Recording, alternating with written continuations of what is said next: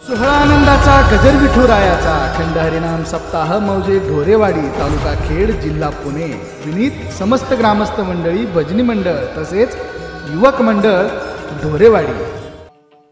करारविंदेन पदारविंदम. मुखारविंदे विनवेशयन्तम्. वटस्य पत्रस्य पुटे शयाणम्. बालं मुकुन्दं मनसा स्मरामि। गृहे गृहे गोपवधू कदम्बा। सर्वे मिलित्वा समवाप्य योगम् पुण्यानि नामानि पठन्ति नित्यं। गोविन्द माधवे। जयांचे केल्या स्मरण. होय सकल विद्यांचे अधिकरण. तेच बंधू श्रीचरण गुरूंचे. ते नमस्कारोणी आता आपुला तो एक देव करुणी घ्यावा. तेने विन जीवा सुखनो हे. एरती माई के दुःखाची जनिती. नाही आधी अंती अवसानी. प्रस्तुत प्राप्त प्राप्त प्राप्त प्राप्त प्राप्त प्राप्त अगदी विद्वज्जनांपासून तर सामान्य माणसाच्या मनाच्या घरात ज्यांनी आपलं स्थान निश्चित केलेलं आहे असे असणार. महान भगवत भक्त संत सम्राट विश्वमक्ष जगद्गुरु श्रीमंत श्री तुकाराम महाराज यांचा उपदेश करण्याचा अभंग आहे. आणि या अभंगाच्या तुकोबराय मात्र प्राण्यांना एक अतिशय महत्त्वाचा उपदेश करतात तो म्हणजे शाश्वत सुखाचा उपदेश करतात विठाला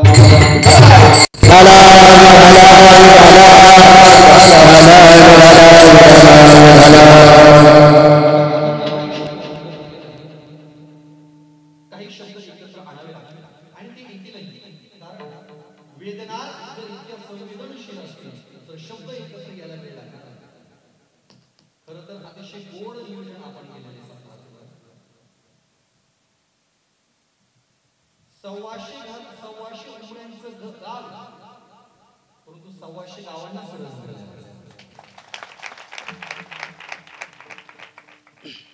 एक तालुका काय असा सत्ता करेल असा सत्ता आपलं पूर्ण मोजकं गाव मोजक्या लोकांचं गाव अतिशय गोड. खरं तर सांगू आपल्याला सौंदर्य अगदी ओसंडून वाहते बरं का गुरुजी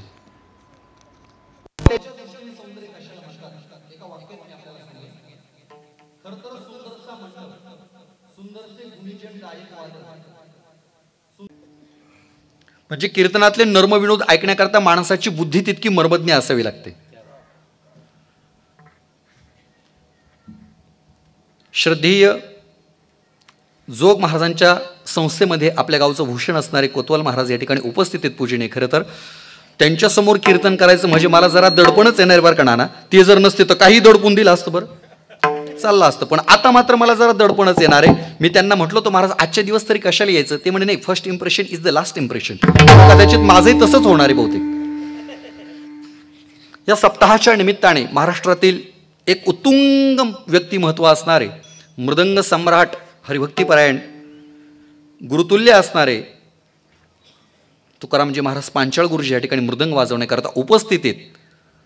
महाराष्ट्रातले प्रसिद्ध गायक ज्यांचं नाव जरी प्रदीप असेल परंतु चिल्या बाळ ह्या नावाने जे संपूर्ण महाराष्ट्रभर प्रसिद्ध आहेत ते असे आमचे प्रदीप महाराज अर्थात कंसात चिल्या बाळ सांगावंच लागेल त्याशिवाय लोकांच्या लक्षात येणार नाही. नाही का? बाळ जरी नाव असेल जरी ते बाळ दिसत असेल पण चांगलं बाळ आहे. त्यांच्या समेत हरिभक्तारायण गणेश दादा सुद्धा या ठिकाणी उपस्थित आहेत.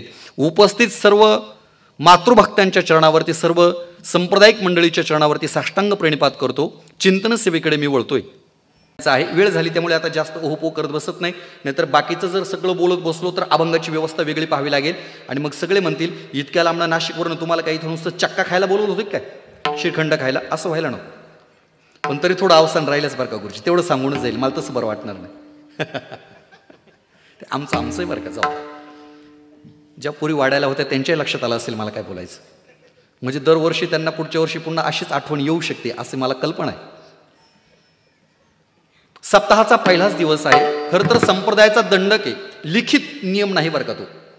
दंडक आहे फक्त अलिखित नियम आहे की सप्ताहाचा पहिला दिवस म्हणले की बरीचशी कीर्तनकार पहिल्या दिवशी थोडंसं नामाचं चिंतन करणारा अभंग घेत असतात. पण मी इथे आल्या आल्या जेव्हा प्रथम पांडुरंगाच्या मंदिरामध्ये गेलो आणि मला पांडुरंगाची मूर्ती पाहिल्यानंतर ती मूर्ती उभे उभ अगदी पंढरपूरची वाटली. आणि म्हणून मला असं वाटलं की बस तोच एक देव आपलासा करून घ्या त्याच्याशिवाय जीवनामध्ये सुखाची प्राप्ती होणं शक्य नाहीये. आणि म्हणून सहज मला वाटलं की या अभंगाचं चिंतन करावं.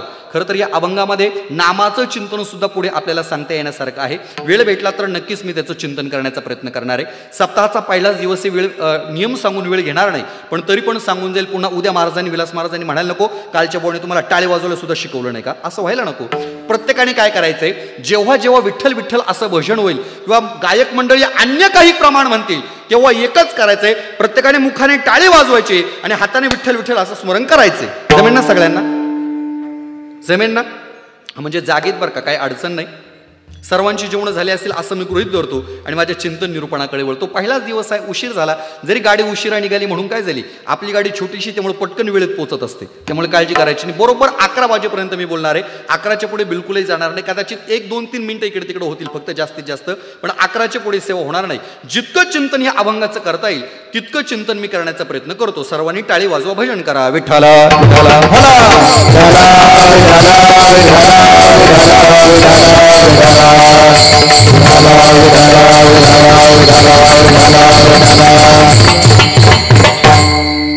अभंग जगद्गुरु तुकोबरायांचा आहे.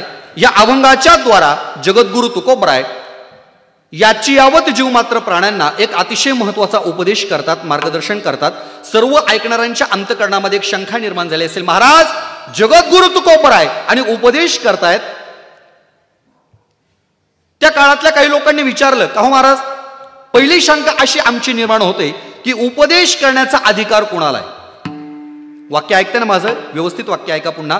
उपदेश करण्याचा अधिकार कोणाला आहे मी आपल्याला प्रश्न करतो मला सांगा. उपदेश करण्याचा अधिकार कोणाला आहे बरं? एका वाक्यात मी याचं उत्तर सांगेन. ज्याने आपल्या जीवनामध्ये जिंदगीमध्ये काही गोष्टींची आचारसंहिता ज्याने पाळलेली आहे ना बस केवळ त्यालाच उपदेश करण्याचा अधिकार प्राप्त होतो. नाहीतर मीच काहीतरी व्यसन करायचं तंबाखू खायचं आणि मग समोर म्हणायचं पाटील अहो तंबाखू खाणं चांगलं नाही तंबाखू खात जाऊ नका. ते मला मला म्हणतील माधव महाराज पहिली तुमची बंद करा आणि मग त्याचा उपदेश आम्हाला करा. इथे मला उपदेश करण्याचा अधिकार प्राप्त होत नाही. मग ज्याने आपल्या जीवनामध्ये काही गोष्टींची आचारसंहिता ज्याने पाळलेली आहे ना बस केवळ त्यालाच उपदेश करण्याचा अधिकार प्राप्त होतो. काय झालं? ओगाला आलं म्हणून सांगतो. एक आजीबाई आपल्या नातवाला संतश्रेष्ठ एकनाथ महाराजांच्या दरबारात घेऊन गेल्या. आणि नाथ महाराजांकडे त्या आजीने आपल्या बाळाची तक्रार केली हो. आजी बोलल्या नाथ महाराज माझ्या या नातवाला काही सांगाव? म्हणे काय सांगायचं? म्हणे हा फारच गुळ खातो. आणि जास्त गुळ खाणं याच्या तब्येतीला योग्य नाहीये बरं नाहीये याला सांगा ना गुळ खात जाऊ नको म्हणून. नाथ महाराज बोलले आजी एक काम करा तुम्ही तुमच्या नातवाला पुढच्या वारेच्या वेळेस पुन्हा घेऊन या. आजीबाई पुन्हा आपल्या नातवाला घेऊन आल्या. पुन्हा नाथ महाराजांकडे तीच तक्रार केली अहो नाथ महाराज सांगा ना माझ्या नातवाला फार गुळ खातोय वा हा जास्त गुळ खाणं योग्य नाहीये बरं नाही याला सांगा ना गुळ खात जाऊ नको म्हणून. नाथ महाराजांनी त्या बाळाला जवळ घेतलं त्याच्या पाठीवरनं हात फिरवला त्याला कुरवाळलं. त्याला म्हणले बघ बेटा जास्त गुळ खाणं चांगलं नसतं हां. हा कीर्तनामध्ये थोडा थोडा खाला तर चालतो काही अडचण नाही ना. म्हणजे समोर ठेवला तर भाऊ विचारूनच घ्यावं का? काय थोडा थोडा खाला तर चालतो ना अडचण नाही. पण भेलीच्या बेली खायची म्हणजे काय? डायबिटीज होण्याची शक्यता आहे ना. गुळ खात जाऊ नको बरं का. आजी मी तुमच्या नातवाला सांगितलं आता तो गुळ खाणार नाही. आजीबाई हुशार होत्या हो. कीर्तन ऐकणाऱ्या होत्या. आजीबाई बोलल्या नाथ महाराज जर एवढंच सांगायचं होतं तर मागच्या वारीच्या वेळेस सांगायचं ना मी याला कशा पुन्हा तिकीट भाडं खर्च करून आले असते? माझं पडतंय हाफ तिकीट मी फिरते वाऱ्या करत. पण ते तिचं त्याचं फुल तिकीट पडतंय ना मागच्या वारीच्या वेळेस सांगायचं ना. नाथ महाराजांनी त्या आजीला दिलेले जे उत्तर आहे ना ते अतिशय गोड आणि समर्पक उत्तर आहे. नाथ महाराज बोलले आजी मला मान्य आहे. तुम्ही मला बोललात की माझ्या नातवाचं गुळ खाणं बंद करा पण मागच्या वारीच्या वेळेस प्रॉब्लेम असा क्रिएट झाला होता की मी स्वतः गुळ खात होतो आणि मग त्याला कसं काय सांगू गुळ खाऊ नको म्हणून म्हणे मग मी माझ्या जीवनामध्ये काय केलं गुळ नावाची गोष्ट वर्ज केली वजा केली अगदी गुळ खाणं कायमचं बंद केलं आणि मग त्याला सांगतो की गुळ खात जाऊ नको म्हणून विठाला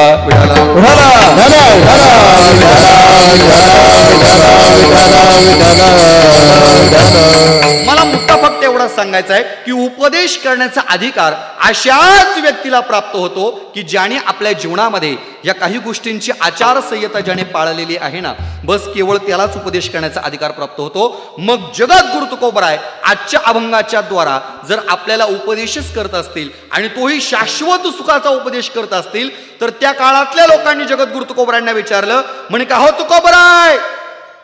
तुम्ही जर आम्हाला उपदेश करताय आणि तोही शाश्वत सुखाचा उपदेश करतायत पण का होतं कोबराय? ते सुख तुमच्या जीवनामध्ये तुम्हाला प्राप्त झालंय का? त्याचा अनुभव तुम्ही तुमच्या जीवनामध्ये घेतलाय का? तर तुकोबराय बोलतात हो हो माझ्या जीवनामध्ये मला ज्या ज्या गोष्टीचे अनुभव आले ना ते ते अनुभव मी या जगाला द्यायचं का? अनुभव आले जगा जगा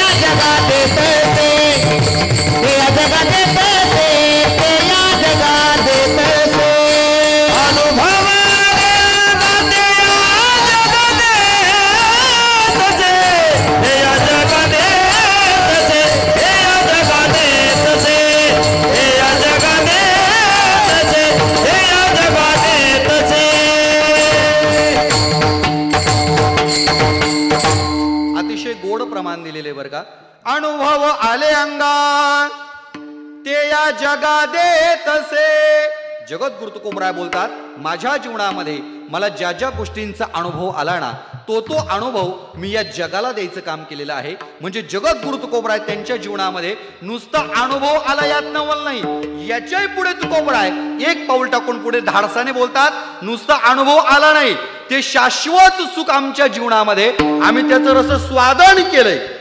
तुका म्हणे चाखोणी सांगे आणि मज अनुभव आहे. अंगे जगद्गुरु तुकोबराय बोलतात माझ्या जीवनामध्ये मी या सगळ्या गोष्टींचा अनुभव घेतला आणि तो जो जो अनुभव माझ्या जीवनात मला आला तो तो अनुभव मी या जगाला द्यायचं काम करतोय. म्हणजे जगद्गुरु तुकोबराय आजच्या अभंगाच्या द्वारा शाश्वत सुखाचा उपदेश आपल्याला करत आहेत. खरं तर प्रत्येक जीवाला ज्या सुखाची अपेक्षा आहे अभंगाची प्रस्तावना सांगितली अभंगाचा थोडक्यात साधा अर्थ सांगतो आणि अभंगात प्रवेश करतो. प्रत्येक जीवाला ज्या सुखाची अपेक्षा आहे ज्या सुखाच्या अपेक्षेनं हा जीव आतापर्यंत जसं मानवी जीवन जगत आलेला आहे त्या शाश्वत सुखाचा पत्ता तुकोबराय या प्रस्तुत अभंगातून सांगतायत. तुकोबराय प्रतिपादन करतायत मार्गदर्शन करतायत उपदेश करतायत की जीवाला शाश्वत सुख तेनेच प्राप्त होईल की त्याने तो एक देव आपलासा करून घेतला पाहिजे.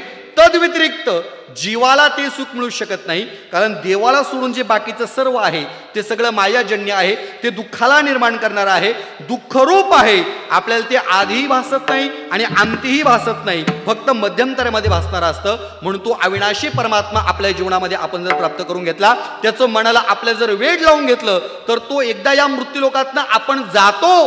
परंतु ह्या मृत्यूलोकामध्ये कीर्ती रूपाने मात्र कायमचे शिल्लक राहतो. अभंगाचा सळ अर्थ विठाला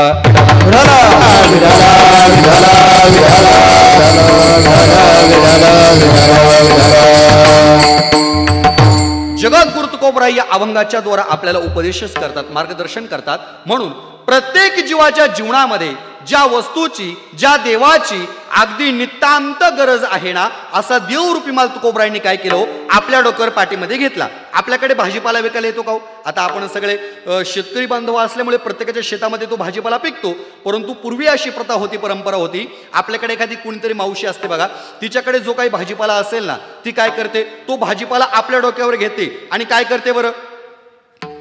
प्रत्येकाच्या गल्लीत जाते. प्रत्येकाच्या घरासमोर जाते आणि आवाज देते. काय आवाज देते? भाजी घ्या भाजी. देव घ्या कोणी देव घ्या कोणी. देव घ्या कोणी? देव घ्या कोणी देव घ्या कोणी. देव घ्या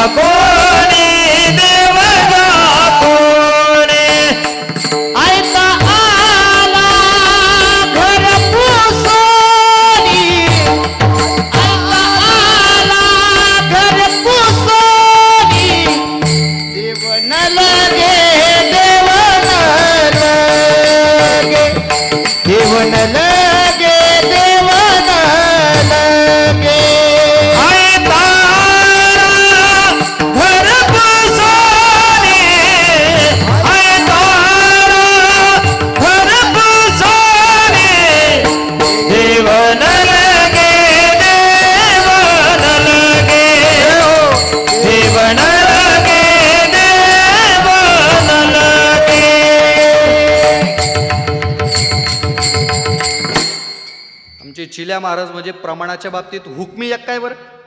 हुकमी यक्का कळतो ना तुम्हाला?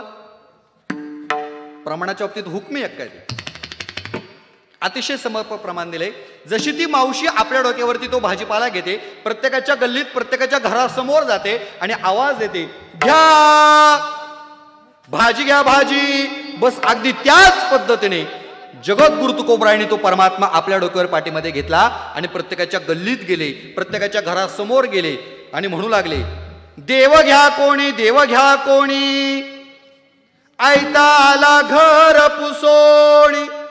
जगत तुकोबरायने तो परमात्मा आपल्या डोकर पाठीमध्ये घेतला हो. प्रत्येकाच्या गल्लीत गेले प्रत्येकाच्या घरासमोर गेले प्रत्येकाची विचारपूस केली देव घ्या कोणी देव घ्या कोणी कोणी घ्या देव घ्या देव घ्या. पण लोकांनी काय केलं माहिती का?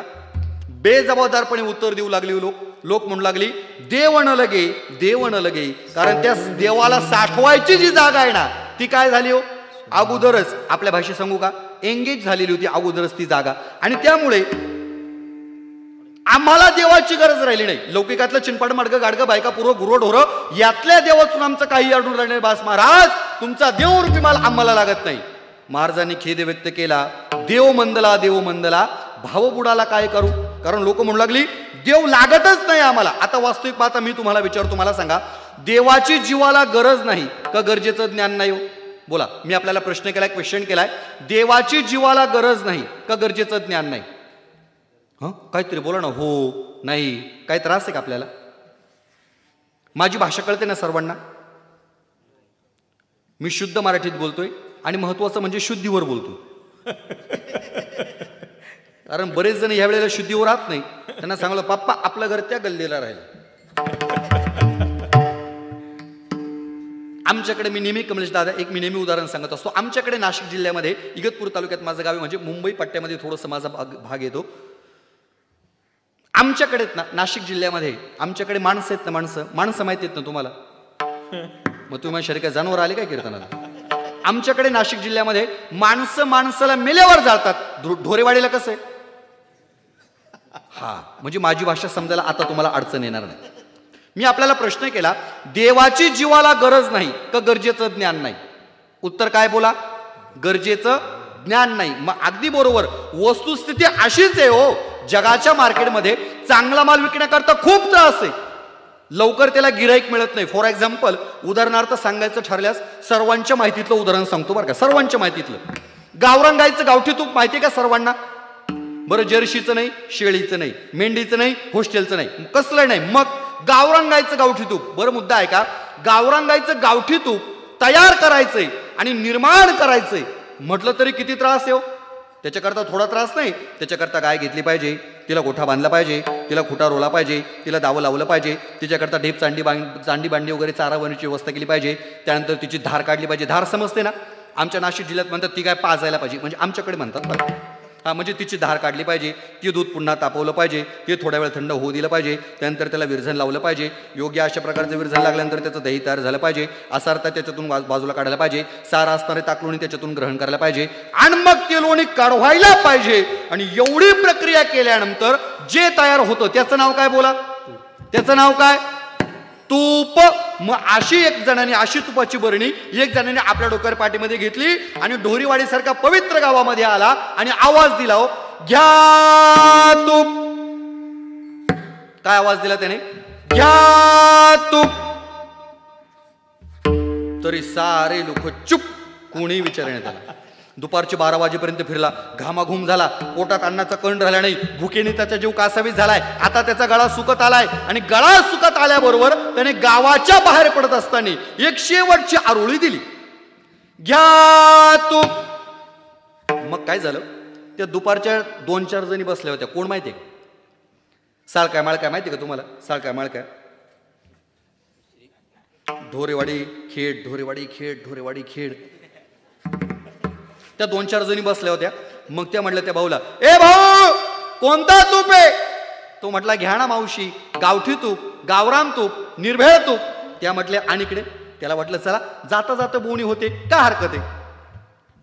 गणेश महाराज त्यांनी ती बरणी खाली ठेवली. मुद्दा बारीक आहे का बरं का? या दृष्टांतातनं मला सिद्धांत पटवून द्यायचा आपल्याला. त्याने ती बरणी खाली ठेवली. आता त्या तुपाची परीक्षा आहे. बरणीचं झाकण त्याने उघडलं त्याच्या जवळचा कपडा त्याने सोडला आणि सोडला बरोबर एका बाईनं आपलं तोंड डायरेक्ट त्या बरणीच्या तोंडापर्यंत नेलं. पण त्या बिचारायला काही तुपाची योग्य परीक्षा झाली नाही. तिला बाजूला सरकून दुसरी आली. ती म्हणले तुला काय करतं का? मी बघते. तिनं काय केलं माहिती का? आपलं हे बोट आहे ना टाळी तर्ज तर्जणी जे बोट आहे ना आपलं हे बोट हे बोट अं, तिनं डायरेक्ट त्या बरणीमध्ये बुडवलं. थंडीचे दिवस होते जरा. आपल्याकडे हिंदीमध्ये गोड म्हणे बघा. घी सीधे उंगली से नाही निकले तो उंगली. टेडी करणी पडते. अगदी बरोबर उत्तर दिलं. टेडी करणी पडते. बोलत जा बोलत जा. मी काय तुम्हाला खाणार नाही कारण मी काय नॉनव्हेज खात नाही काळजी करू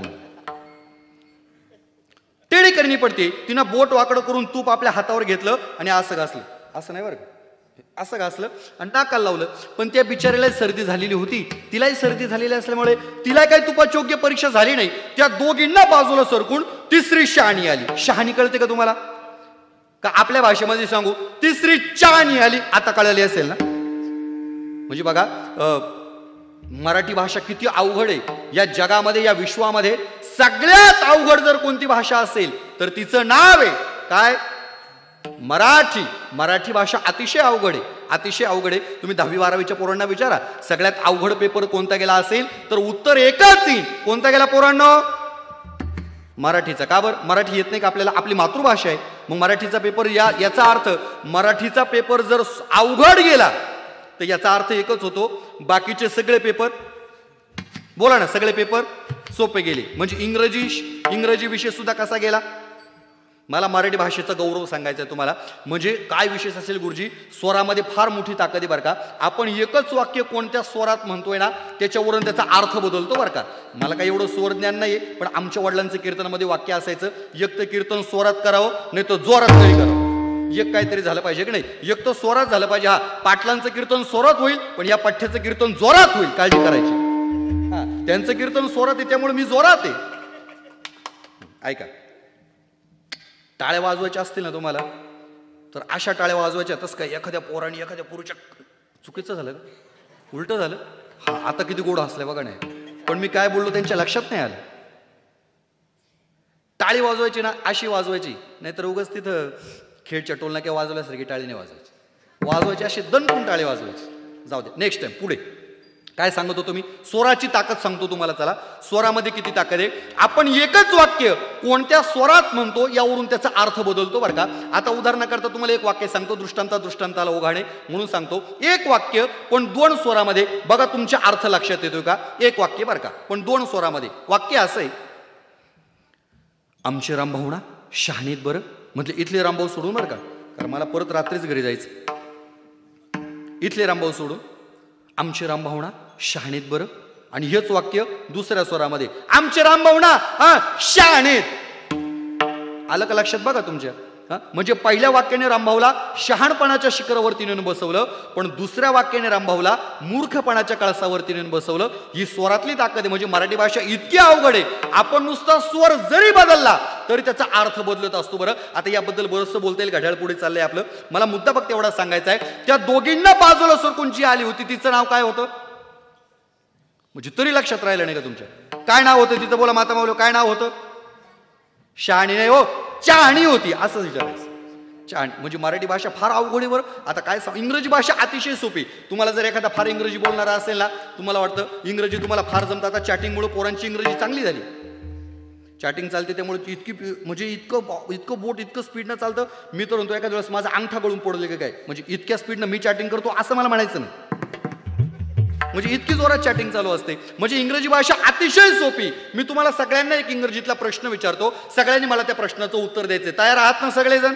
अगदी सोपा प्रश्न बर बरं का. हो सगळे हो म्हटले बरं का? ऐका पोरांनो एक वाक्य मी तुम्हाला विचारतो. एक प्रश्न करतो. त्याचं उत्तर सगळ्यांनी द्यायचंय मला सांगा व्हॉट म्हणजे काय? नाही व्हॉट म्हणजे काय? हे हे नाही का? हा काय? तेच का? काय पण. आता हे रातभर चाललं तर मिटायचं नाही बरं का. पण याचं लगेच मी मिटून टाकतो. समजा एखादा फार इंग्रजी बोलत असेल ना त्याला फक्त एखाद्याने तुम्हाला जर विचारलं का रे लय इंग्रजी बोलतो ना सांग बरं व्हॉट म्हणजे काय? असा प्रश्न जर तुम्हाला कोणी केला तर त्याला उत्तर एकच द्यायचंय विचारणारा मूर्ख सांगू मी काय? हे त्याचं उत्तर आहे. म्हणजे गुरुजी मला मूर्ख म्हणू नका म्हणजे बरोबर का?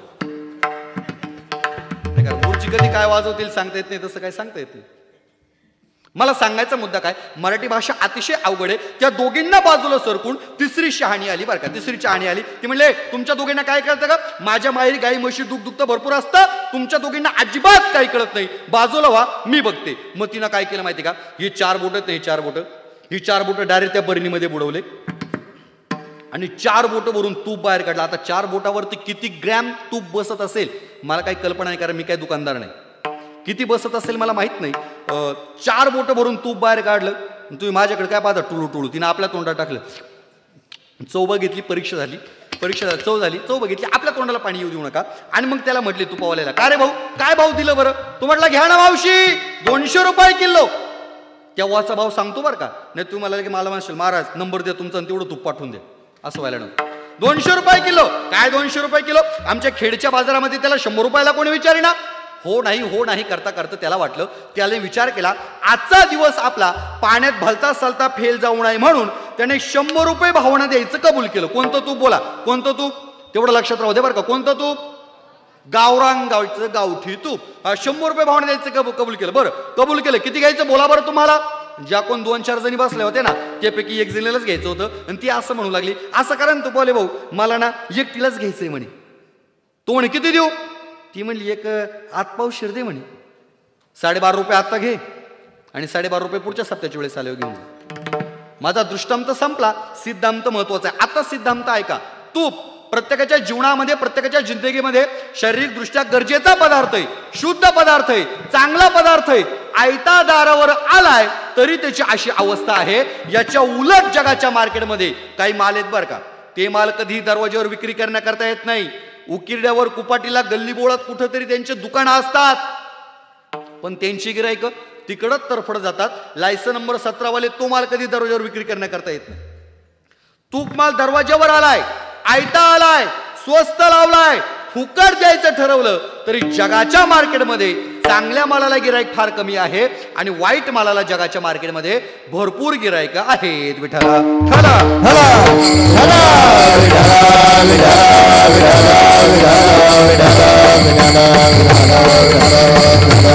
मग अशा प्रकारे आपल्या देवरूपी मालाला सुद्धा कोणी गिराईक मिळत नाहीये. मग जगद्गुरु तुकोबरायने काय केलं? युक्तिवाद केला आणि भाषा बदलवली. म्हणजे ठीक आहे तुम्हाला देव लागत नाही ना? नका घेऊ. लागत नाही तुम्हाला? गुंडाळून ठेवतो. ठेवून देतो. नका घेऊ.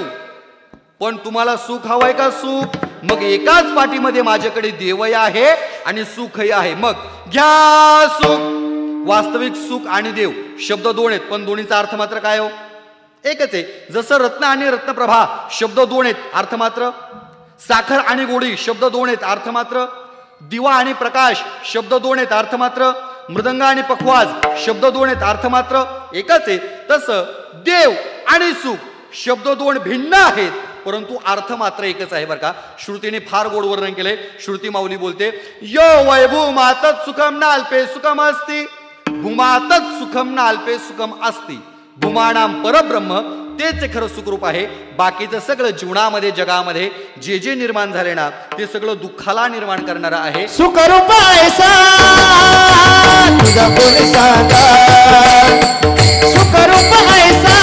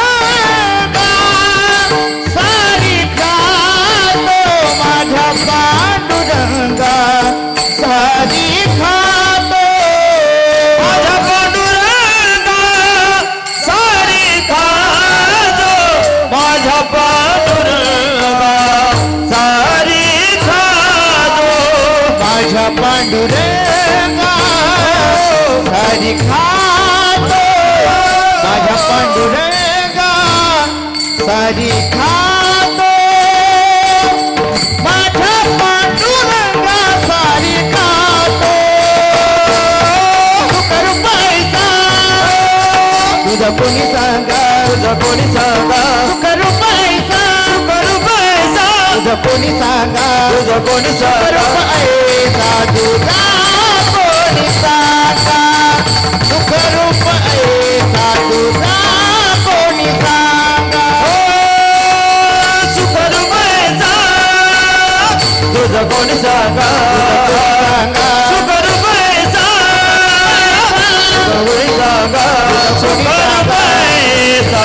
ऐसा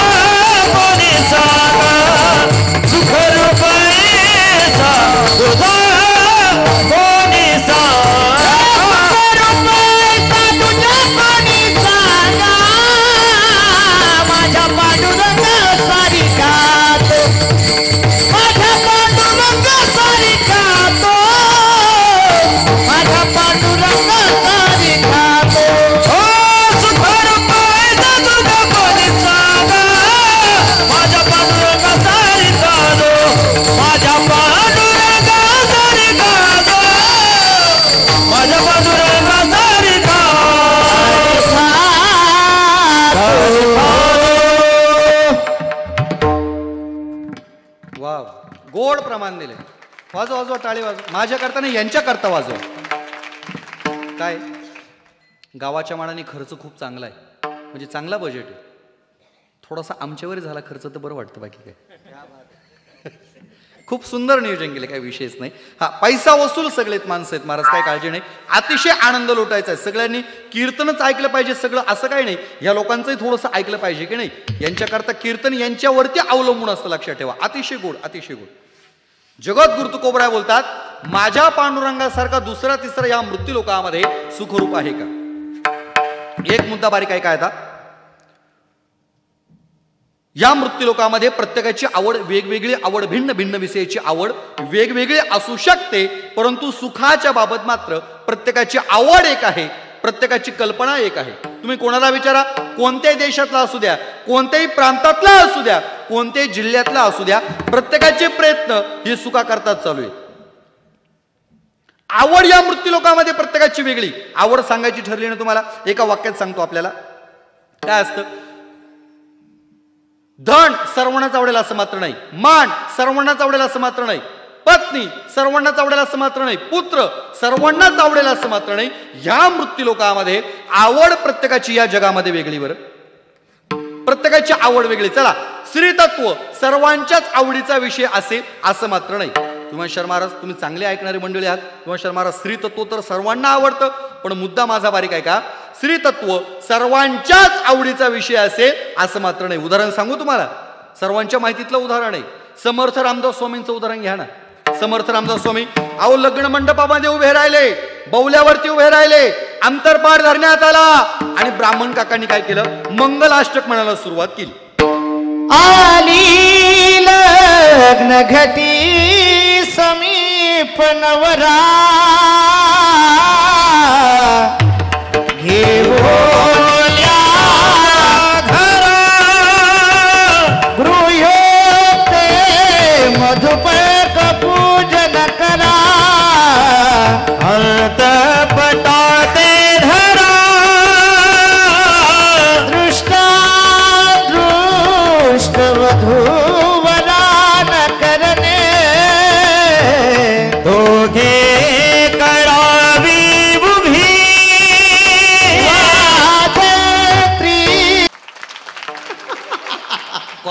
टाळ्या वाजवल्या राव. तस काय मला लग्नच लागलं आणि टाळीच लागली माझी असं झालं. नाही हाऊस झाली एकदा. अवसानी तुमच्या भाषेमध्ये अवसानी एकदा हाऊस झाली. एकदा झाले की ती आयुष्यभराची होत असते. मुद्दा याच्यातला आहे का प्रमाण आता त्यांचं कामाचे प्रमाण म्हणणं त्यामुळे त्यांनी प्रमाण दिलं. ब्राह्मण काका मंगलाष्टक म्हणायला लागले हो. आणि मंगलाष्टक म्हणत असताना शेवटी ब्राह्मण काका काय करायचे ऐका. शेवटी एक संपुट लावायचे. काय? वधूवर्यो शिवलग्न शिवम भवतु. सावधान सावधान सावधान शब्द पुन्हा पुन्हा कानावर पडला. स्वामीजी सावध झाले. कारण सावधान शब्द कुठे असतो? सावधान शब्द कुठे असतो? सावधान. आजपासून ढोरेवाडीचा सप्ताह सुरू होतोय. कुणीही गावाकडे फिरकुळे सावधान. असं काय असतं का? मग सावधान शब्द. घाटाच्या ठिकाणी अवघड वळण खोल दरी सावकात जा नाही तर टापोटाप जा आणि एकदाची गप हो. सावधान शब्द. प्रत्येक मंगलाष्टकाच्या शेवटी ब्राह्मण काका बोलायचे सावधान सावधान सावधान सावधान शब्द पुन्हा पुन्हा कानावर पडला. स्वामीजी सावध झाले. त्या ब्राह्मण काकांचा हात पकडला आणि विचारलं का हो काका? हे सावधान कशा करता म्हणे? मग काकांनी सांगितलं ब्राह्मण काकांनी सांगितले बघा संसाराच्या दुःखांना तुम्हाला पुढे सामोरं जायचंय. ते दुःख तुम्हाला सहन करायचंय. म्हणून ते दुःख सहन करण्याकरता सावधान. स्वामीजींनी एवढा दुःखाचा डोंगर डोळ्यासमोर उभा पाहिला हो लागत्या लग्नाच्या मंडपातून उडी मारली पळून गेले. थेट अरण्याचा रस्ता धरला तर आजपर्यंत पुन्हा संसाराकडे फिरून बघितलं नाही. म्हणजे मला सांगायचं काय? स्त्री तत्व हे सर्वांच्याच आवडीचा विषय असेल असं मात्र नाही. हे व्यवहारातलं उदाहरण झालं. परमार्थिक क्षेत्रातलं उदाहरण सांगतो. भीष्माचार्यांना आपल्या आईने आग्रह केला. मीच तुला प्रतिज्ञा करायला भाग पाडलं आणि मीच सत्यवती माता तुला आज्ञा करते. आता बाळा आपला कुरुवंशित खंडित होण्याची वेळ आली. आता तरी स्त्रीचा स्वीकार कर. स्त्रीचा स्वीकार केला नाही. भोलेनाथ बाबाने आणि पार्वती मातेने कार्तिक स्वामींना किती मुली दाखवल्या आहे लग्न कर लग्न कर लग्न करण्याकरता प्रवृत्त केलं. पण कार्तिक स्वामी म्हटले नाही आई मी अजन्म ब्रह्मचारी राहील. फारच आईचा आग्रह झाला. कार्तिक स्वामींची तळपायची आग मस्तकात घेतली आणि आपल्या आईला म्हणले आई ऐकून ठेव मी तर लग्न करणारच नाही. स्त्री हा विषय माझ्या जीवनामध्ये येऊच शकत नाही. पण ऐक आई आजपासून जी स्त्री माझ्या हात किंवा माझ्या शरीराला स्पर्श करेन ती सप्त जन्म वैधव्याचं दुःख भोगेन तेव्हापासून कार्तिक स्वामींच्या मंदिरामध्ये स्त्रियांना प्रवेश नाही. म्हणजे मला मुद्दा काय सांगायचा आहे? स्त्री तत्व हे सर्वांच्याच आवडीचा विषय असेल असं मात्र नाही. आता अनेक आवडी सांगता येतील बरं का. प्रत्येकाची आवड या मृत्यू लोकामध्ये वेगवेगळी आवड आहे. प्रत्येकाची आवड वेगळी. सांगू तुम्हाला एका वाक्यामध्ये ज्याची आवड जशी त्याचं दुकान तसं. आलं का लक्षात? बघा तुम्ही. नाही लक्षात आलं. समजा आपल्या ढोरेवाडीतले एकाच गावातले सगळे आपण एक लोक सगळे लोक एकाच बसमध्ये बसलो बसमध्ये नाही बसणार कोणी. आता बसचा प्रवास बस झाला आता किती दिवस? नाही का? समजा सगळे एकाच बसमध्ये बसले आपल्या खेडच्या राजगुरुनगरच्या बाजारपेठेमध्ये गेले सगळेजण एकाच बाजारात गेले तर सगळेजण सारखा माल घेतील का हो? घेतील का? मग ज्याची आवड जशी असते त्याचं दुकानही तसं असतं. म्हणजे कुणाला काय आवडेल तर कुणाला म्हणजे आवड प्रत्येकाची या जगामध्ये वेगळी बरं का? आवड निवड प्रत्येकाची वेगळी आहे पण सुखाच्या बाबत मात्र प्रत्येकाची आवड एक आहे प्रत्येकाची कल्पना एक आहे. तुम्ही कोणाला विचारा सुख हवंय का? तर प्रत्येक जण म्हणतो हो आम्हाला सुख हवंय. बर तुम्हाला सुख हवंय ना? कोणत्या क्षणापुरतं? कोणत्या मिनिटापुरतं? कोणत्या वारापुरतं? कोणत्या दिवसापुरतं? कोणत्या आठवड्यापुरतं? कोणत्या महिन्यापुरतं? कोणत्या वर्षापुरतं? नवे नवे आत्यंतिक दुःखाची निवृत्ती आणि परमानंद सुखाची जीवनातील दुःख कायमचं नष्ट व्हावं आणि सुख कायमचं मिळावं अशी प्रत्येकाची काय हो? इच्छा आहे अपेक्षा आहे.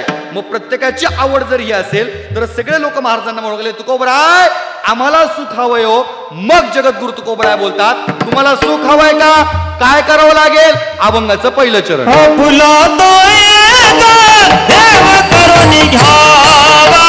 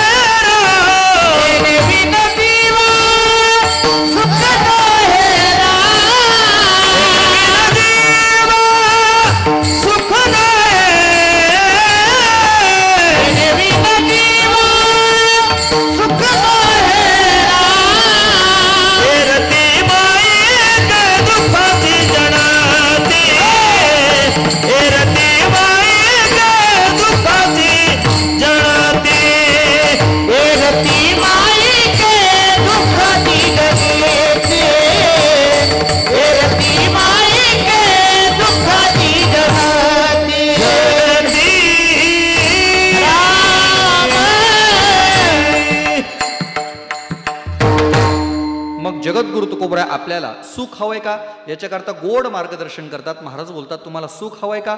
मग काय करावं लागेल? तो परमात्मा तो एक देव आपुलासा केल्याशिवाय जीवाला सुख मिळू शकत नाही. आता एक मुद्दा लक्षात ठेवा. हे पहिलं चरण तुमच्या परफेक्ट लक्षात येण्याकरता एक दोन दृष्टांत सांगतो आणि त्याचे सिद्धांत स्पष्ट करतो. म्हणजे पहिलं चरण आपल्या लक्षात आल्याशिवाय राहणार नाही.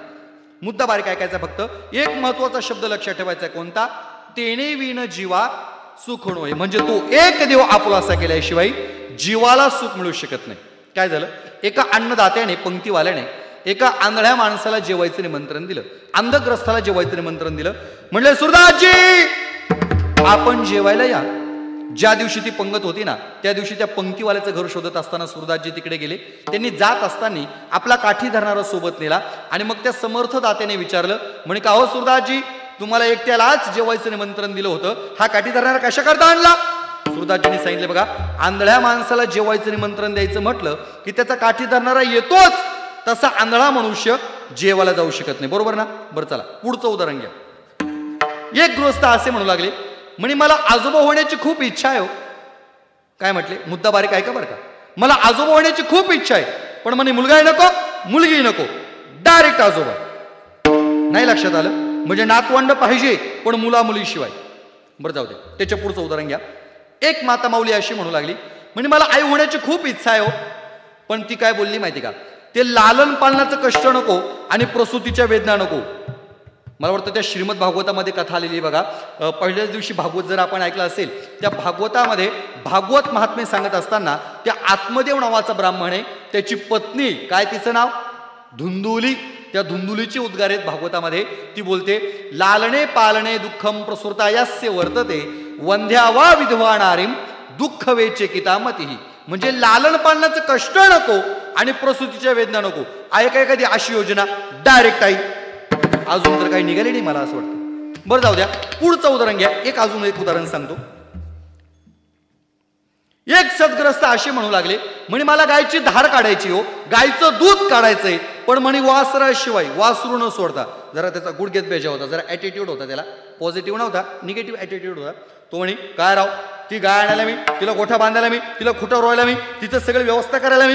आणि वासरू कशाला पाहिजे? बिश्वमेरा चांदबाई. कशाला पाहिजे बिश्वमेरा त्याने एक दिवस प्रयोग करायचं ठरवलं हो. मुद्दा बारीक आहे का बारका एक दिवस प्रयोग करायचं ठरवलं त्याने बादली हातामध्ये घेतली आणि डायरेक्ट गायकडे निघाला. गायने त्याला लांबूनच पाहिलं. आज आलाय म्हणे पण एकटाच आला. म्हणजे वासरून सोडता आला. गायीनं आयडिया केली हो. त्याला जवळ येऊ दिलं खाली बसू दिलं स्तनामध्ये सडामध्ये काशेमध्ये हात घालू दिला आणि आपल्या जिबेने त्याला गोंजरायला लागली असेल का नाही? काय पाहता तुम्हाला सांगतो असं तुडवला असा उलता पालता पाडला पार गायना असा दोन चार टोले असे निबार टाकले गुरुजी तुम्हाला सांगतो. उलता पालता पडला डोकं फुटलं कोपरं फुटलं चष्मा कोणी गेला त्याचा पत्ता नाही. ती दाताची कवळी नेमकीच बसवली होती खेळवरनं आजच आणली होती. ती कोणीकडे गेली तिचा पत्ता नाही. ते चायण्याचं डबडं घेतलं होतं. त्याचा डिस्प्ले कोणीकडे त्याचा कीपॅड कोणीकडे त्याची बॅटरी कोणीकडे त्याचं काय कोणीकडे आरडाओरडा करायला लागला. वाचवा वाचवा वाचवा! लोक धावून आले हो. म्हणे काय संपतराव म्हणे काय नाही हो म्हणे प्रयोग प्रयोग. म्हणे कसला प्रयोग केला? म्हणे काय नाही फार दिवसापासून मनामध्ये एक विचार होता की बुवा वासराशिवाय गाय दूध देईन का? म्हणे मग हो, म्हणे आज माझा संशय मिटला वासराशिवाय गाय दूध देत अहो नाही तर म्हणा वासराशिवाय गाय दूध देत नाही. बरोबर ना? म्हणजे आता पुन्हा म्हणा वासराशिवाय गाय दूध देत पाऊस पडन का? असे म्हणतायत कारण जेवले इतके जोरात नाही चुकते कीर्तन झाल्यावर जेवण पाहिजे. कीर्तनाच्या आधीच सगळे जेवले का मग असं श्रीखंड कीर्तन करू देत नाही महाराज. तुम्हाला वाजू देऊ राहिलं ते पण अवसानीच झाले आता. हा जाऊ द्या गुरुजी तुमचं मनच समाधान होऊ द्या आता काय जायचं व्हायचं ते होत. गुरुजी म्हणे इतकं अवसान आलं होतं जेवायला. म्हणून म्हणलो नाही आधी आणती. पण अवसानी काय झालं? नको जाऊ द्या टेन्शन येईल बरं परत त्यांना. मला ते मी जसं जेवण झालं तसे ते मला म्हणतायत. काही हो? म्हणे काजळे महाराज. मेथीची भाजी लईच सुंदर झाली ती हो, म्हणे. ते झालं काय? ह्या पुरी होत्या वाढायला. आता बसल्यात त्या समोर सगळ्या. वाढता वाढता यांना म्हणजे काय आनंद झाला का काय माहिती? ते जसं विदुराच्या घरी परमात्मा गेले ना तसं ते साल्टी खायला दिले. देवाने ते खाल्ले. हे काय झालं? या सगळ्यांना मेथीची भाजी वाढली हो. नेमकं मी आजचा नवर देऊन मलाच भाजी नाही. मी तेव्हा काय नाही म्हणलो जेवण झाल्यावर म्हणलो सावकाश म्हणलो गुरुजी गुरुजी मला म्हणे भाजी तर काहीच ठेवली नाही तुम्ही ताटामध्ये. अहो म्हणलं दिलीच नाही राव मला. आता पंक्तीवाले म्हणतील महाराज एक किलो मेथीची भाजी आत्ताच बनवून देतो तो रस्त्याने खातच जा म्हणशा. आणि गोड स्वयंपाक केला होता त्यांनी. ऐका. मुद्दा काय चाललाय आपला?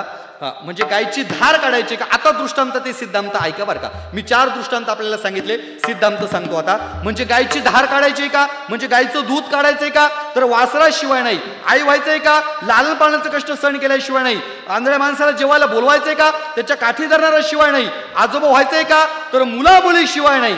तस जीवाला सुख हवाय का? मग तो एक देव आपुलासा केल्याशिवाय नाही. तेने विन जीवा सुखानो हे तेने विन जीवा. सुखानो हे तेने विन जीवा. सुखानो हे तेने विन जीवा. करो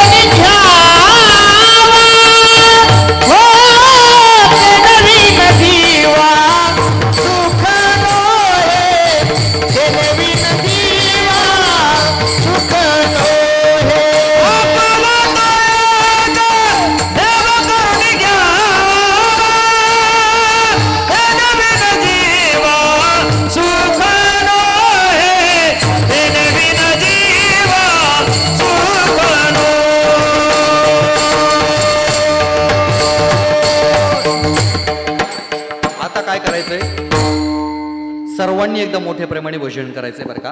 आता सर्वांनी हात वरती करायचे. सर्वांनी हात वरती करा. आपल्याला विठू बरोबर गोड भजन करायचंय बरं का. सर्वांनी हात वरती करा बरं. किती गोड वाटतंय बघा बरं. मी सुरुवातीलाच बोललो होतो टाळी वाजवा भजन करा. खरं आता आता माझं ऐका.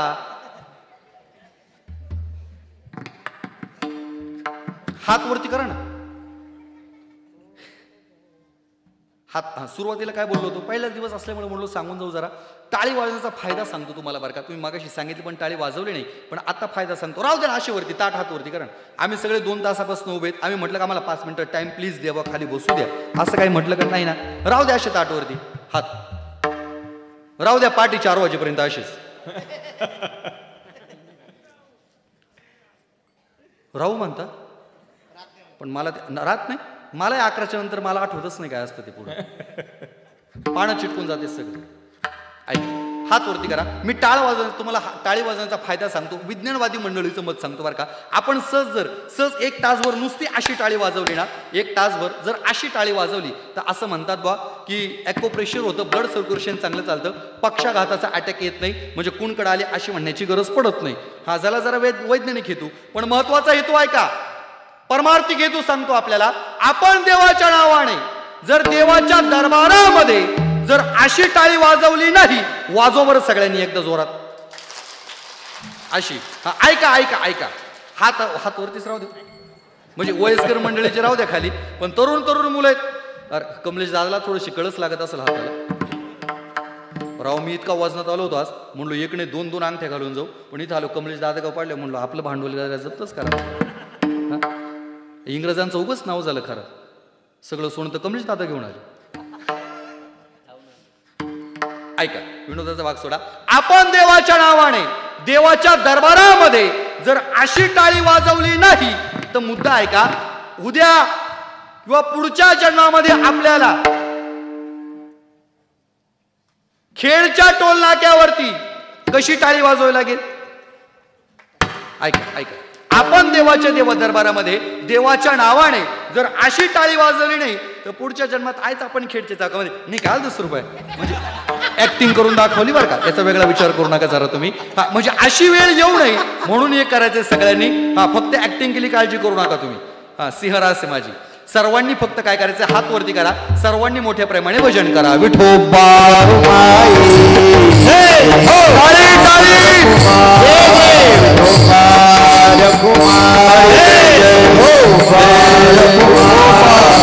टाळी. विठोबार कुमार विठोबार कुमार।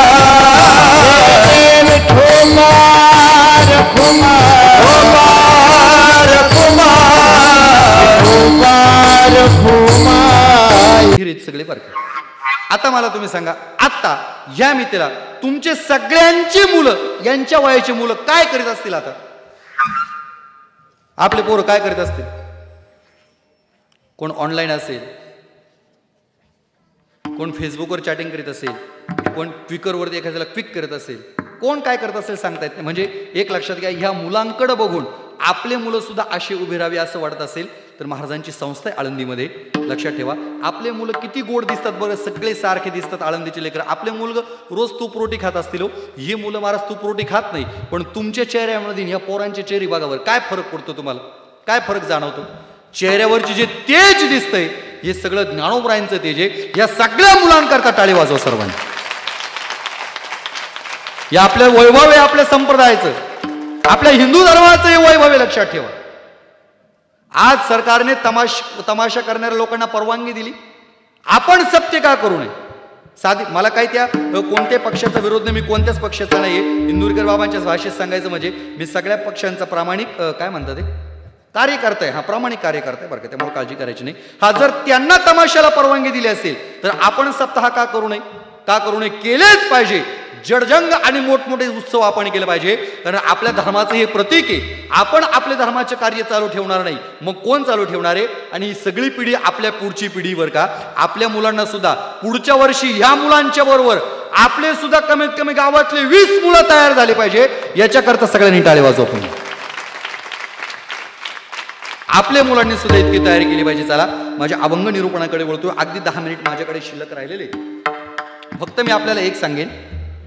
आपल्या जीवनामध्ये माझी वेळ संपुष्टात आलेली आहे की किंवा कदाचित जास्तही कदाचित होऊ शकतं. पण मी अगदी थोडक्यात बोलतोय फक्त तीन चरण आपले राहिलेले आहेत. या तीन चरणाचं साध्या सोप्या सळ भाषेमध्ये अर्थ सांगून आणि पुढे चालेल. मग तो परमात्मा आपल्या जीवनामध्ये आपल्याला प्राप्त करायचा आहे ना? बस तू कोबऱ्या बोलतात एकच करा सुख हवंय ना? तो एक देव आपलासा करून घ्या. या जगामध्ये देव हा एकच आहे बरं का? आता याच्याबद्दल अनेक चिंतन अनेक प्रमाणात सांगता येतील. देव हा एकच आहे. याच्यामध्ये भेदत्व आणि अनेकत्व हे आपण पाहतो.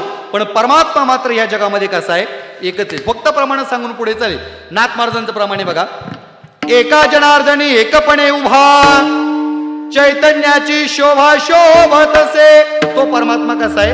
एकच आहे. किंवा निळोबरायांचं प्रमाण सांगतो. एक एकटाची असून एकला. विश्वी विश्वाकार होऊन या ठेला. जया परी हो तैसाची गमला. नंद नंदन हा असोच अमुला हो ऐशा गवळणी त्या बोलती परस्परे. ऐशा गवळणी त्या बोलती परस्परे. तो परमात्मा एकच आहे. किती उदाहरण एक किती प्रमाणे ज्ञानोबरांच्या हरिपाठातलं प्रमाणे. एका जनार्थ आपलं मला वाटतं महाराजांचं प्रमाणे. एक हरी आत्मा जीव शिव समाधी आत्मा जीव शिव समाधी. हरी आत्मा जीव शिव समाधी. आत्मा जीव शिव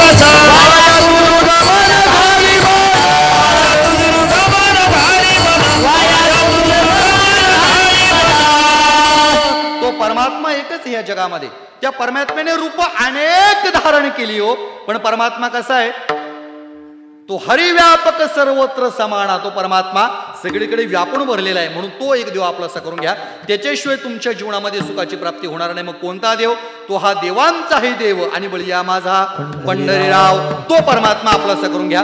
जगातील गोष्टींचा त्याग करा. एर एर म्हणजे एक परमात्म्या व्यतिरिक्त या मृत्यूलोकातील जेवढा काही बाजार असेल ना तो आपल्याला भासतो पण नाही आधी नाही अंती अवसानी. एर म्हणजे एक परमात्म्या व्यतिरिक्त आपण या मृत्यूलोकातला किती भापड पसारा आपण आपलासा केला तरी आपल्याला सुखाची प्राप्ती होणार नाहीये. मग आपण काय करायचंय? आपण किती प्रयत्न करावं? सुख शोधण्याचा. पण या मृत्यूलोकामध्ये आपल्याला स्वप्नामध्ये सुद्धा सुख मिळत नाही. हे शाश्वत सत्य. स्वप्नामध्ये सुद्धा संत महात्म्यांच्या जीवनातला आणि आपल्या सर्वसामान्य जीवातला फरक जर पाहिला ना आपण तर संतांच्या जीवनामध्ये त्यांना त्यांच्या स्वप्नामध्ये सुद्धा दुःख कसं आहे हे माहीत नाही. आणि आपल्याला आपल्या स्वप्नात तरी सुख मिळतं का? स्वप्न तरी सुख मिळतं. एवढा एक दृष्टांत सांगतो आणि सेवेच्या समारोपाच्या दृष्टीने चालतो. संतांच्या जीवनामध्ये त्यांना त्यांच्या स्वप्नामध्ये सुद्धा दुःख माहीत नाही. आणि आपल्याला आपल्या स्वप्नामध्ये स्वप्नात सुद्धा सुख मिळत नाही. हे शाश्वत सत्य काय झालं? उदाहरण सांगतो म्हणजे आपल्या लक्षात येईल. काय झालं? एकदा मी कार्यक्रमाच्या दिशेने मी एकदा आळंदीला राहत असताना आमच्या नाशिक जिल्ह्यामध्ये एक ठिकाणी कार्यक्रमाला जायचं होतं. आळंदीवरनं प्रवास करत निघालो त्या गावाच्या कार्यक्रमाच्या गावामध्ये पोहोचलो. पोहोचल्यानंतर ते लोक म्हटले महाराज तुम्हाला चहा कॉफी वगैरे म्हणलो. अजिबात काही नको बसनं प्रवास करत गेलो होतो. मग त्यांना म्हटलं मी फार थकलेलो आहे म्हटलं. मला थोडासा आराम करायचा आहे नऊ ते अकरा कीर्तन होतं. म्हटलं मला जरा आराम करायचा आहे मग त्यांनी काय केलं आपल्या गावाच्या बाहेर त्यांचं घर होतं आणि मस्त घरापुढे निंबाऱ्याचं झाड होतं. एक कॉट टाकून दिला मस्त प- आथरायला पांघरायला सगळं व्यवस्थित दिलं. आणि काय झालं मी थकलेलो असल्यामुळे मला गाढ झोप लागली. हो आणि मुद्दा बारीक आहे का बरं का? त्या गाढ झोपेमध्ये मला एक स्वप्न पडलं स्वप्न. काय स्वप्न पडलं असेल बरं? तुम्हाला काय वाटतं? आता तुम्हाला शर्मा स्वप्न तुम्हाला पडलं ना आम्हाला विचार काय स्वप्न पडलं? स्वप्न असं पडलं तुम्हाला अतिशोक्ती वाटेल गुरुजी पण सांगेन मी आपल्याला स्वप्न असं पडलं की त्या स्वप्नामध्ये मी भारताचा पंतप्रधान झालो. म्हणजे कशातलं सांगतोय तुम्हाला? हा म्हटलो आमदार खासदार वगैरे सांगण्यापेक्षा डायरेक्ट टॉप लेवलपर्यंत जायला अडचण स्वप्न बघायला अडचण काय? नाही का? स्वप्न बघायला कुठं पैसे लागत स्वप्नामध्ये त्या गाढ झोपेमध्ये मला एक स्वप्न पडलं आणि त्या स्वप्नामध्ये मी भारताचा पंतप्रधान झालो बरं. आता भारताचा पंत म्हणजे मोदी सरकारच्या आधी काजळे सरकार आलं होतं महाराज. बरं काय झालं? लगेच मग ते शपथ भवनामध्ये गेलो शपथविधी झाला. आता एक एक मिनिट माझा महत्त्वाचा होता. पहिले कीर्तनकार होतो ना सकाळी एक वर्ष श्राद्धाचं कीर्तन संध्याकाळचं सप्त्यातलं कीर्तन झालं का निवांत पडलेले असायचे. पण आता मात्र एक एक मिनिट माझा महत्त्वाचा होता. आज या देशामध्ये उद्या त्या देशामध्ये आज या गावला उद्या त्या गावला. मग महाराज काय सांगायची? इतकी व्यवस्था इतकी व्यवस्था. पहिले बो होतो तेव्हा गाडी पंक्चर झाली तर स्टेपनी मिस लावायचो धोतरवर खोचून. पण आता गाडीचा दरवाजा उघडायला सुद्धा कोण होतं? नोकर होता. हे कशातलं सांगतो तुम्हाला? तेवढं लक्षात राहू द्या. पुन्हा सांग हे कशातलं सांगतो? स्वप्नातलं बरं का ते लक्षात स्वप्नांच्या पलीकडे नका जाऊ जरा अलीकडेच राहा. स्वप्नातलं सांगतोय तुम्हाला. मग एक दिवस काय झालं की अमेरिकेवरनं माझ्या एका मित्राचा फोन आला. त्याचं नाव होतं फार गोरा गोमटा दिसतो. त्याचं नाव आहे बराक ओबामा. त्याचा मला फोन आला होता. गोरा दिसतो ना फार चांगला दिसतो ना तो. त्याला या फोकसमध्ये पाहावं लागेल. कोण आहे? बराक बाबा आहे काय? हा त्यांचा फोन आला म्हणे हॅलो महाराज महाराज नाही. पीएम साहेब होतो की नाही पंतप्रधान होतो. म्हणे हॅलो पीएम साहेब आपल्याला अर्जंट प्रायव्हेट मिटिंग घ्यायची म्हणे. त्याच्याकरता पटकन अमेरिकेला रवाना व्हावर सकाळी पटकन उठलो आंघोळ वगैरे झाली नाश्ता वगैरे केला. नाश्ता वगैरे केला माझ्या गाडीमध्ये बसलो. आमच्या गाड्या दिल्लीच्या एअरपोर्टच्या दिशेने गेल्या. तिथे गेल्यानंतर विमानतळावरती गेलो. विमानामध्ये बसलो. तो बेल्ट लावला. आणि काय सांग एक त्या विमानाचा बेल्ट वगैरे सगळं सगळं व्यवस्थित झालं. दरवाजा बंद झाला. आणि आता ते विमान धावपट्टीला लागलं. म्हणजे आकाशामध्ये उड्डाण घेण्याच्या अगोदर ते धावपट्टीला लागतं की नाही? ते धावपट्टीला लागलं. धावपट्टीला लागल्यानंतर जसं ते धावू लागलं जसा मानाचा वेग वाढू लागला विमान शंभर दीडशे दोनशे तीनशेच्या स्पीडनं विमान धावू लागलं आता ते विमान आकाशामध्ये उड्डाण घेणार.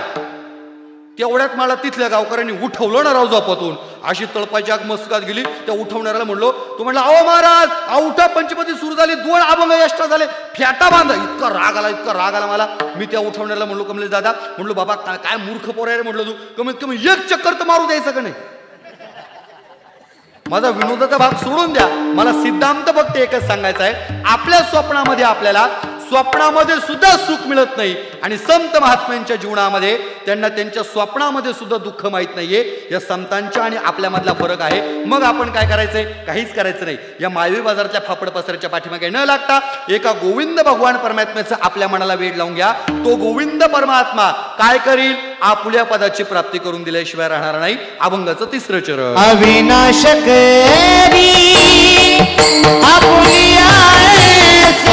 करी आपुलिया ऐसे अविनाश करी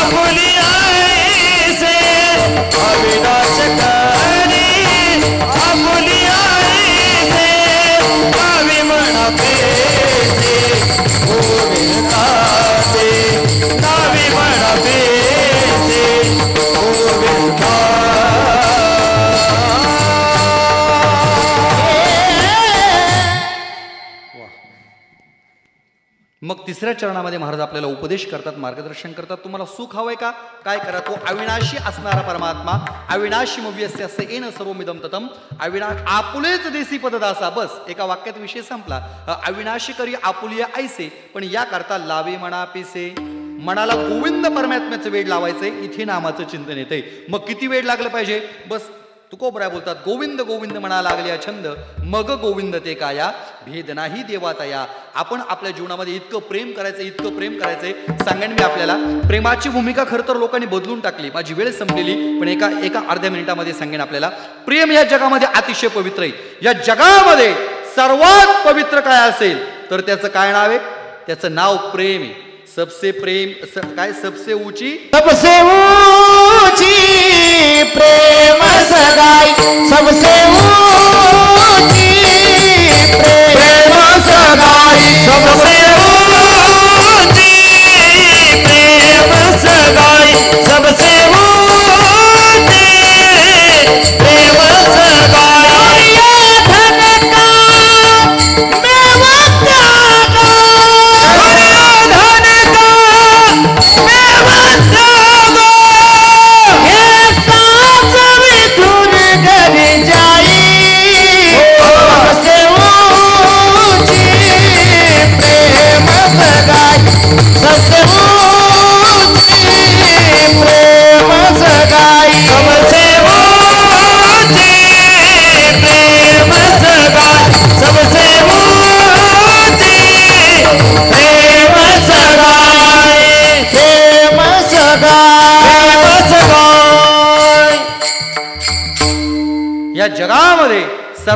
सर्वात पवित्र काय असेल ना तर ते प्रेम आहे लक्षात ठेवा.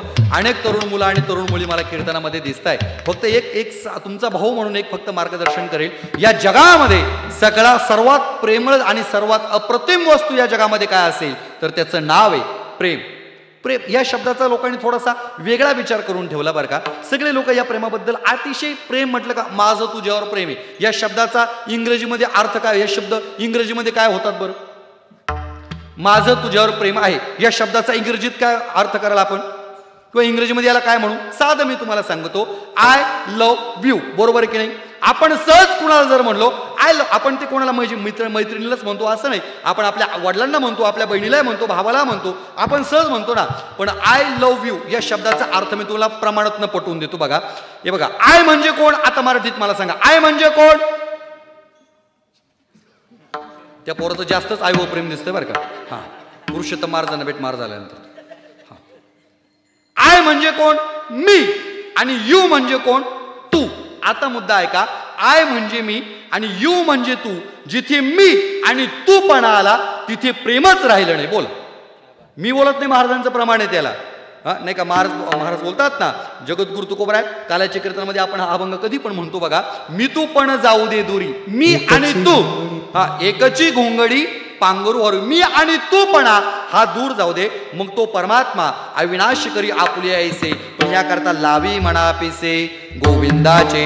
मग शेवटी लोकांनी विचारलं महाराज ठीक आहे तुम्ही आम्हाला सांगताय मनाला गोविंदाचं वेळ लावा. का हो तुका बरं आहे ज्यांनी आपल्या जीवनामध्ये मनाला गोविंदाचं वेळ लावलंय त्याने परमात्मा आपुलासा केलाय. या जगातील वस्तूंचा त्याग केलाय. आता त्याला फक्त कृष्ण परमात्म्याचीच भक्तीचं वेळ लागले पांडुरंग परमात्म्याच्याच भक्तीचं वेळ लागले. हे सगळं करण्याचा परिणाम काय आहे हो? हे सगळं करण्याचा परिणाम आणि फलश्रुती अभंगाच्या शेवटच्या तुक चरणामध्ये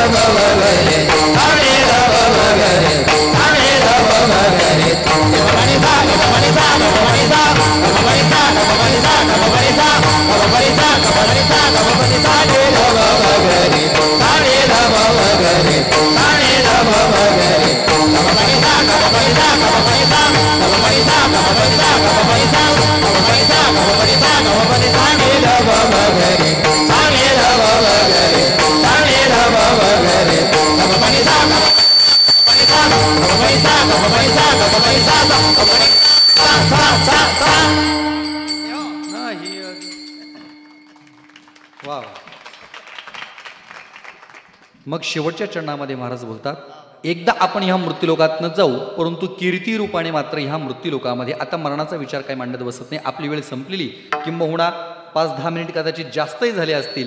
काय असतं कोणती गोष्ट वेळेमध्ये झालेली फार चांगली असते बरं का. कोणती गोष्ट काही असो कीर्तन असो जेवण असो कोणतीही गोष्ट वेळेमध्ये झालेली खूप चांगली असते. मी नेहमी एक उदाहरण सांगत असतो बरं का. मी नेहमी सांगत असतो जेवण जेवण सुद्धा वेळेतच व्हावं बरं. उशिराचं जेवण काही कामाचं नाही. लग्न लग्न सुद्धा वेळेमध्ये झालं पाहिजे बरं का गुरुजी. उशिराचं लग्न काही कामाचं नाही. उशिराचं म्हणजे साडेबाराचं तीनला लागतं. तीन आहे बरं का. कमलेश भाऊ याच वर्षी मला एका मित्राची पत्रिका आली व्हॉट्सअपला तो म्हणे महाराज प्रोफेसर झालोय. लग्नाला यायचं पोरांचं असं म्हणणं असतं सेटल होऊ द्या. मग लग्न करू. सेटल कधी होशील? टक्कल पडल्यावर. का दाढी पांढरे झाल्यावर सेटल होशील कधी तू? तुम्हाला खोटं वाटेल.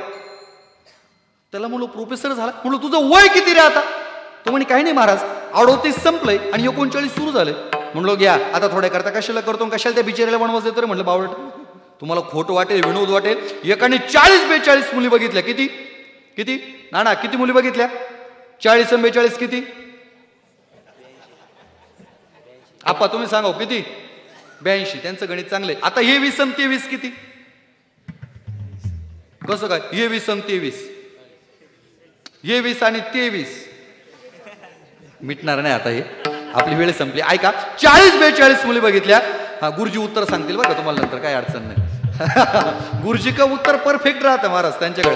त्यांना चांगलं माहिती बरोबर कुठं हातोडी मारायची हे त्यांचा विशेष गुण आहे त्यांच्याकडे. त्यामुळे अडचण नाही. चाळीस बेचाळीस मुली बघितल्या हो. त्रेचाळीसावी मुलगी पाहिल्या गेल्यानंतर त्या मुलीच्या आईने सांगितलं भिकारला पोर देईल पण तुला देणार नाही. ती मुलगी जरा शिकलेली होती एज्युकेटेड होती. ती म्हणली का गाई? भिकाऱ्या देण्यापेक्षा त्याला देणार. चांगलं गातंय चांगलं वाजवतंय. म्हणजे आता यांच्याकडनं का बघू कोणी? अडचण नाही. पण सांगतो चांगलं वाजवतंय चांगलं का? भिकाऱ्या देण्यापेक्षा त्याला देणार. त्या मुलीच्या आईनं दिलेलं उत्तर फार गोडे बरं का. त्या मुलीच्या आईने सांगितलं अगं बेटा त्याला द्यायला काहीच प्रॉब्लेम नाही पण तुला सांगू काय झालं होतं? म्हणे काय झालं काय म्हणे झालं असं. हा मला सुद्धा पाहायला आला होता. माझं लग्न झालं. मला तू झाली. तू लग्नाच्या वयात आली. हा अजून मोमळत फिरतोय पोरीपात. म्हणे. म्हणजे मला सांगायचं काय कोणती गोष्ट वेळेमध्ये झालेली फार चांगली असते? अकरा वाजेपर्यंतचं कीर्तन म्हणजे भुकेल्यांना अन्न आणि अकराच्या पुढचं कीर्तन म्हणजे खडके जैसे वर्षिले का आगी माझी पेरिले. खडकावर किती पाऊस पडला तर त्याचा परिणाम काही चांगला नसतो. म्हणून झालेली सेवा तुम्हा संपूर्ण ग्रामस्थांच्या चरणावरती समर्पित करतो.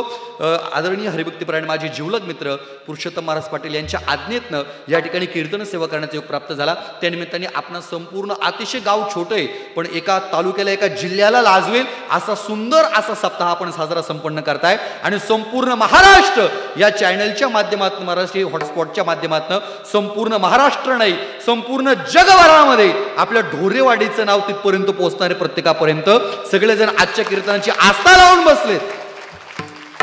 आणि सगळे मोठमोठे गणिजन असतील पांचाळ गुरुजी असतील हरिभक्तपारायण गणेशदादा असतील चिल्या बाळ असेल आपल्या प- गावचं भूषण असणारे गुरुतुल्य असणारे कोतवाल बाबा असतील संपूर्ण महाराज मंडळी या ठिकाणी या महाराजांचे सगळे हे विद्यार्थी इथे उपस्थित आहे. या विद्यार्थ्यांचा सुद्धा आपण आदर्श घ्या. उद्या हरिपाठाला यांच्या गावचे सगळे मुलं एक बाजूला आपले मुलं उभे करा आणि एक बाजूनं या गावातले सगळे मुलं उभं करा. बघा आठ दिवस अजून हरिपाठाला किती मजा येते इथे. अतिशय हरिपाठाचा आनंद लुटायला आमच्या कोकणामध्ये हरिपाठाला कीर्तनाला लोक कमी. पण हरिपाठाला जास्त लोक राहतात. कारण हरिपाठाचा आनंदच मुळात फार वेगळा आहे हो. हरिपाठाला सगळ्यांनी उद्यापासून यायचं आहे अतिशय गोड आपण नियोजन केलंय. सर्व ग्रामस्थांना मी या ठिकाणी धन्यवाद देतो. आदरणीय मित्र आमचे कमलेश दादा असतील त्यांचे वडील असतील या सर्व परिवाराने महाराज भरभरून प्रेम दिलं. यांचं प्रेम कधीही विसरणार नाही. झालेली सेवा तुम्हा संपूर्ण ग्रामस्थांच्या चरणावरती समर्पित. हरिभक्तीपरायण परमश्रद्धे परम आदरणीय सर्व वारकरी शिक्षण संस्थेतील सर्व आजी माजी महाराज मंडळी गुरुवर्य मंडळी त्या सर्व गुरुवर्यांच्या चरणावर माझी सेवा समर्पित करतो. माझे वडील वैकुंठवासी किसन महाराज काजळे यांच्याही चरणी सेवा समर्पित आणि वाणीला पूर्णविराम. विठ्ठल जय जय